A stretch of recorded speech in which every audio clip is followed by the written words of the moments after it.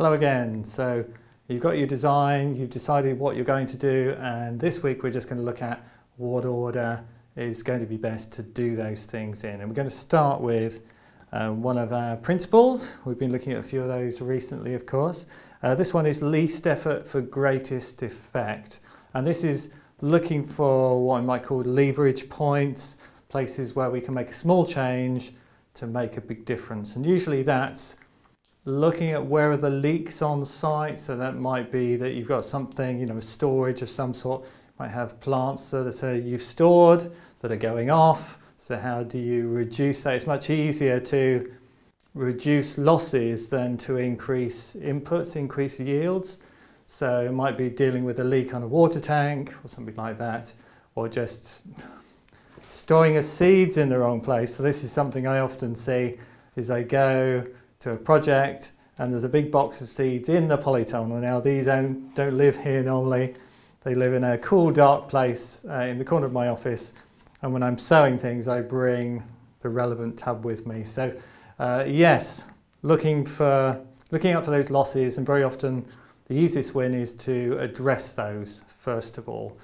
Now another thing we might consider are seasonal constraints. Now again when it comes to planting um, there's very much seasonal constraints. If we're planting trees, for instance, if we're planting bare root trees, you can only do that in the winter. They can only be moved that time of year. You might be choosing bare root trees because they're cheaper and you have more selection, more variety uh, than if you were to buy pot grown trees. So it might be a limiting factor. There might be a, just finances. So you might say, we can't afford to buy pot grown trees, let's buy bare root trees. You can only plant them or move them in the winter months. So they go on the calendar. And these are the kind of things that want to go on the calendar first because they can't go anywhere else. Um, another thing to think about also is resource availability. So that might be things as simple as labour. If you're running a project, then you might have a lot of people come to help in the summer months. So uh, big jobs that require a lot of people might be put on the calendar for the summer. Uh, whereas if you're thinking about what time do you have, you might earn more money in the summer, but have less time available at that time of year. So other projects might go in the winter when you have more time, if time is the issue. So looking at what resources you have at different times of year. So we've just had a whole load of wood chip, two loads of wood chip delivered recently. This is the time of year when most tree surgeons do tree work because the sap is down, the tree is dormant, many trees are dormant in the winter. And so it's much easier, you know, limbs are less heavy and trees are happier if they're uh, addressed and worked on in the winter as well. So this is the kind of time of year we would get that. So then we're looking at systems that would set that up. So we've got a little hotbed system out there where we put the wood chips with some early grass cuttings to get the heat hot. And, uh, and that's very much a seasonal thing. It's when we want to be growing our earliest crops and it's when we have that resource where those two things overlap. So they go in the calendar then. Okay, I hope for, hopefully this is all making sense. And then we also have things like dependencies. So some things just have to be done before others. So you need to prepare your vegetable bed before you plant your seeds in it, for instance. Or if you're looking at a building, it's quite difficult to put the roof on before it's got walls or some kind of footing. So there are logical dependencies that some things precede another and you need to give time for those things to happen. So if we're thinking about deadlines and scheduling things, it's always worth thinking about how long it takes to do particular jobs and particularly if you're working on a project with other people, especially if they're contractors and you're paying them, you need to know that when a job needs to be done, that they're available. You often have to book them a long time in advance. So to figure out how long these things are going to take, where they'll sit on the calendar, we can use things like a Gantt chart. Now we've used one here to work out what we're going to do as part of our implementation plan. And we've chunk them around different permaculture principles. Um, and they're laid out on this chart and uh, that's on the computer. So computer, computer charts can be useful in the sense that if something gets delayed, we just adjust the time and everything moves. It sets, it tells you how long it's going to take you to get to the end of the project.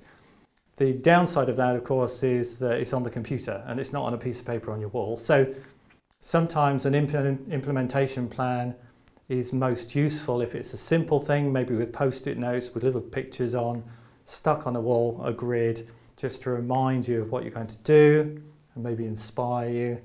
Um, I put a lot of things in my calendar, for instance, but Gantt charts can be really useful and you want to make sure that if someone, if you're doing a big project, someone turns up to do the job, that everything that they need is on site, all the resources are ordered, and you've got the money in the bank to pay for those resources and pay them as well.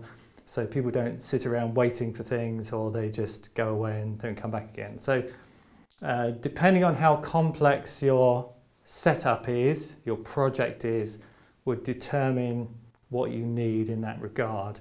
And Gantt charts allow you to work out things like the critical path, which is the all the dependencies that have to occur one after the other, how long each one of those is going to take, so that you know from beginning to end of the project how many days that is.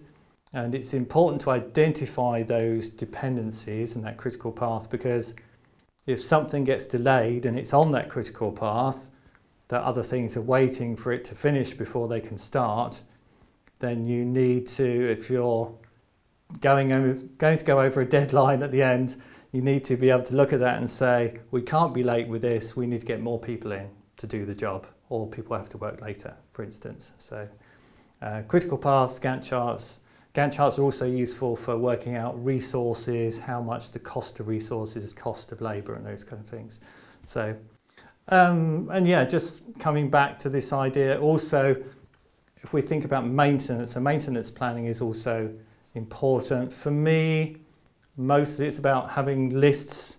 So we've got some very basic lists of things like spring jobs, summer jobs, winter jobs, and they don't have to be particularly complicated, but there's reminders for things like remove the tree guards in the spring so that the bark of the tree can breathe and ants don't make nests in them, but then come the late autumn into the winter, we put the guards back on again to protect the trees over the winter. And it's just, it's a simple job, doesn't need any detailed instructions, but we need the reminder to make sure we do it. And then sometimes maintenance is not so obvious, so particularly if you've got a design where you have something like a composting toilet, there may be instructions for how to maintain the composting toilet is something that, well, day to day for the user, perhaps on the inside of the door so people can see what it's all about, how it works, what to do to make sure it works properly, but also for the manager of the toilet that they know what they need to do on a seasonal basis in order to keep it healthy and working well. And then when it comes down to, you know, if you've got a whole bunch of things and you can't decide where to start because, for instance, it's spring, like it is now, middle of March, and you've got all these seeds, what do I do first? So I've got just, you know, so that's one bunch. And these are organised around the biodynamic planting calendar. So in the front here, today is a root day, so roots, followed by flowers, that's going to be tomorrow. Flowers FL, so the L, so flowers followed by leaves, leaves is L, and then leaves is followed again by the other F, which is fruit, fruit, followed by the R, fruit, RFR, root.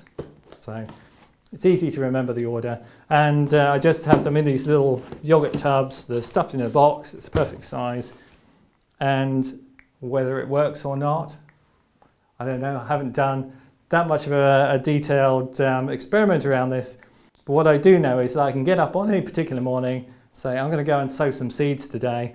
And rather than thinking, which seed shall I save, I just say, what's today? Today is a root day. Let's go and plant some roots. It just makes deciding what to do so much easier. So ultimately, an implementation plan means that you don't waste a lot of time thinking, what am I going to do next? And if you have a system like this, I don't need to waste time thinking, what am I going to sow today? I just go ahead and do it.